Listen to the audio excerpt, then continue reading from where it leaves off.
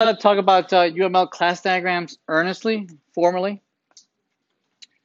Uh, so uh, UML uh, stands for uh, Unified Modeling Language, and uh, it's a um, it's a language, it's a visual language that is used by engineers to be able to describe systems, how they interact, the data structures, and it's useful for folks that you know don't um, are not necessarily uh, knowledgeable of each other's uh, infrastructures, uh, but nevertheless have a common language, right? So the folks that uh, are you know database experts can talk to folks that are developers, uh, regardless of whether you know I'm, I, I love Python or Java or C Sharp or whatever.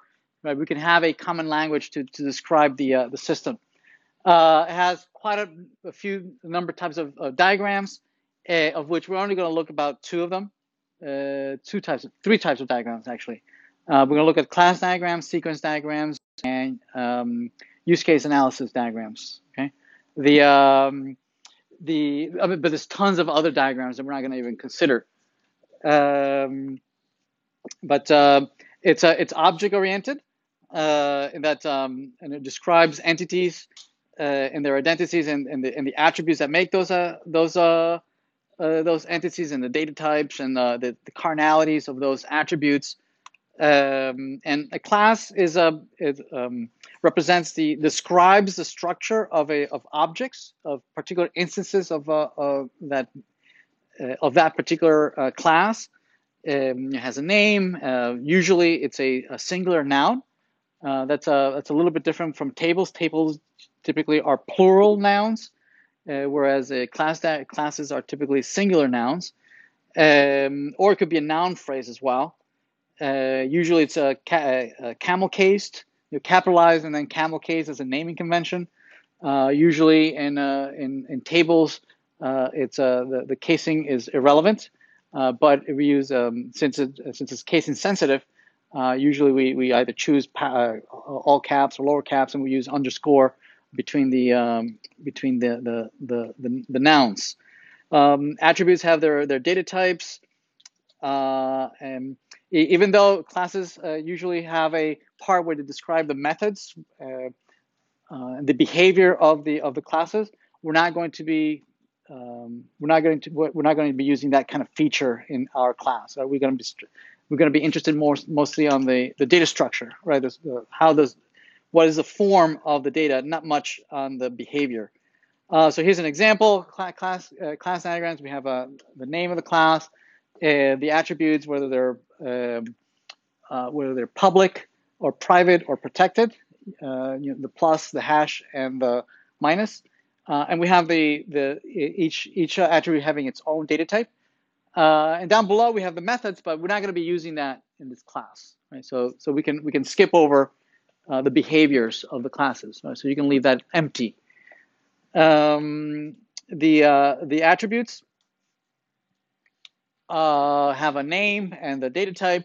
Uh, some of those uh, attributes can have multiplicity.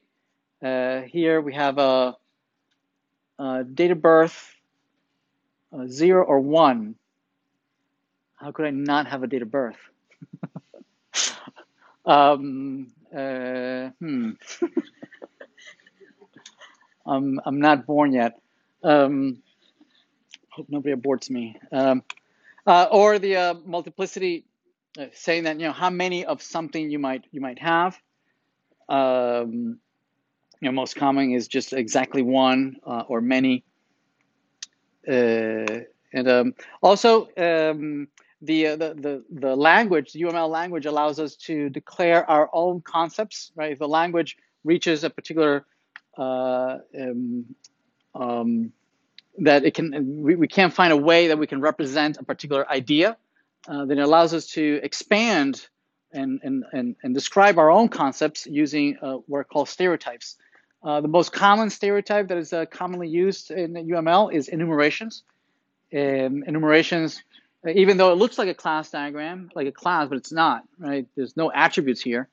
Uh, so these these values, horror, comedy, sci-fi, fantasy, these are not attributes, right? They're they're they don't they don't have a data type, right? Uh, the data type is movie genre. Movie genre is the data type, Uh, and we're here we're specifying all the possible values that movie genre could have. Uh, and then you can declare all the variables of type movie genre, right? And uh, and the only possible values of that of that variable can only be these four values. Yes, uh, just like we can declare something as an integer, we're saying that well the possible values of that variable are all the numbers between minus infinity and plus infinity.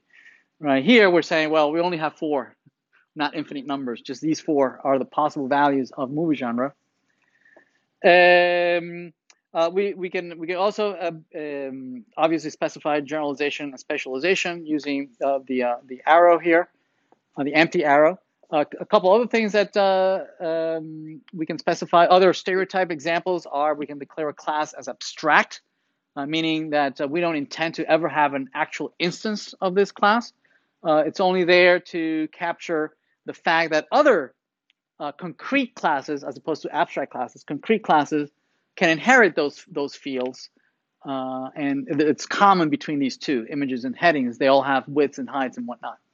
Okay, um, uh, as we'll see later, and somebody was suggesting, uh, oftentimes uh, one of the one of the um, um, one of the inconvenience uh, uh, facts about spreading, implementing specialization and generalization across multiple tables.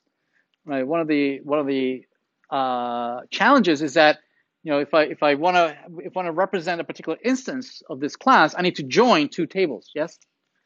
Uh, so imagine you had a you know fairly deep generalization, right, where you have a long inheritance chain, right, and you want to you know represent you know a record, and you want to extract a record from one table that's way down in the inheritance chain. You would have to join, right, all the tables in that chain. Very very expensive right? Um, so oftentimes a, an alternative representation is to have just one table, right? And then and then squish all the uh, you know flatten the hierarchical hier- the hierarchy tree, the uh, the inheritance tree into one single table, and and we'll talk about that.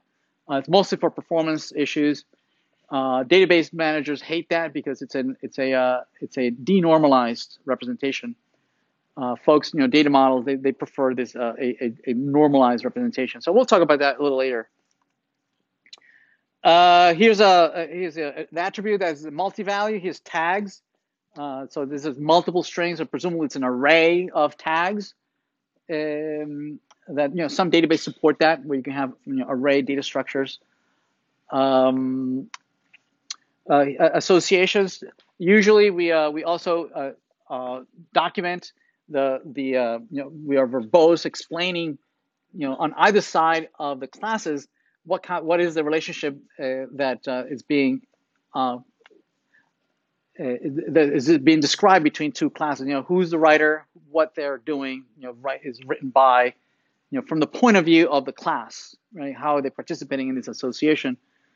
um, and uh, it allows us to you know read it out loud. You know, an author writes a book, or a book is written by an author, right? Starting from either one, either side of the relationship.